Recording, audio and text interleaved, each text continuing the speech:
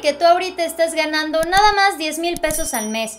De repente te invitan a una película y ahora ganas 100 mil dólares al mes. Esto es precisamente lo que vive Yalitza Aparicio día a día. De vivir literalmente en una choza y cobrar un modesto sueldo como maestra de kinder, la suerte radicalmente le cambió a Yalitza Aparicio. Desde su participación en la película Roma, su perspectiva de vida se ha tornado completa y totalmente diferente a la que tenía en su natal Oaxaca. Según el portal Nómina Transparente, que presentó el gobierno hace un tiempo, Yalitza Aparicio tenía una plaza como maestra de kinder, donde mensualmente ganaba un sueldo de 9.483 pesos. Llegando el año 2018 las cosas se tornaron completamente diferentes para Yalitza. En la actualidad ella cobra alrededor de 100 mil dólares al mes lo cual si hacemos bien las cuentas, esto ya sumaría más de un millón de dólares anuales, ya descontando impuestos y todo, ¿eh? De acuerdo con el portal de internet llamado Celebrity Network, ahorita Yalitza posee un patrimonio de alrededor de 3 millones de dólares. Esto gracias a los más de 25 mil dólares que recibe cada semana por las diversas campañas publicitarias en las que participa.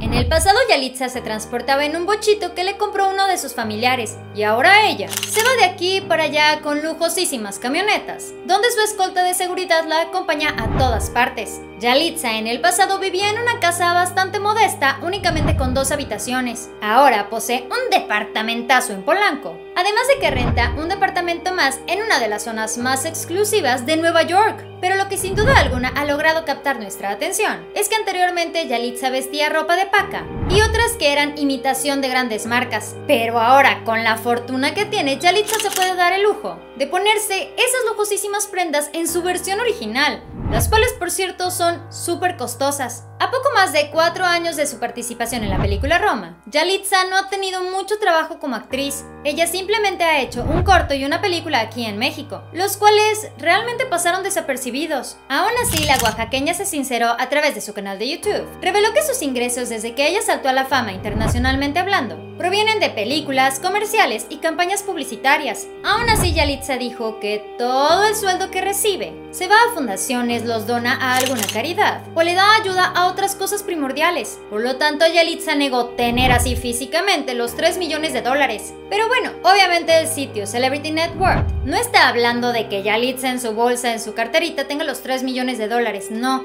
la cuenta la hacen según lo que ha ganado. Y ya será cosa de ella en dónde se lo ha gastado o a dónde lo donado. Aún así, Yalitza dijo que este tipo de noticias le daban muchísima risa. Precisamente con muchísimo humor, ella mencionó, a ver díganme, ¿en dónde está esa cuenta bancaria?